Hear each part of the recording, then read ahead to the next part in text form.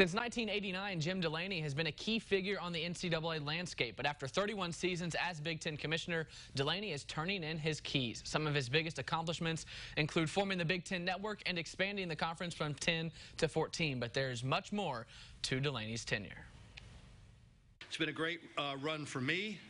Uh, an opportunity to serve one of the great conferences in the country. Give Jim Delany a lot of credit. I, I think history will view him as one of the most transformative figures in the history of college sports.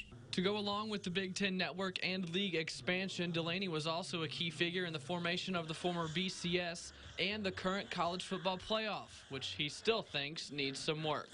But I'm not sure that the strength of schedule uh, or the uh, conference championship has been uh, adequately rewarded, in, in, in my personal view. Delany will step aside on January 1st.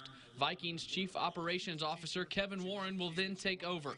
Warren and Delany will work side by side from September 16th until Delany's last day. When he comes in, what we're trying to do is to use that time in a way that uh, gives him a sense of the rhythm of the conference. So, you know, we'll have conference commissioners meetings at the Big Ten. So I don't think it'll be awkward at all. At least I, I, I don't expect that it would be. We've got a, a really nice way with each other. There's no doubt that Warren comes in with big shoes to fill.